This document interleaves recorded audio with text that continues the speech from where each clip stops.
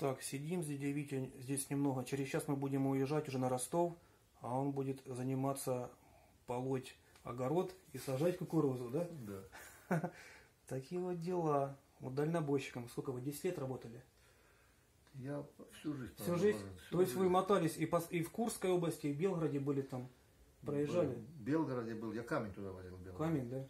А, ну вот. Загрузился в Белгород, Белгород пр- протарахтел. А я учился в Шварле тоже в университете три года, так что мне там все знакомо, и Курский, и Белгород, центральная часть России.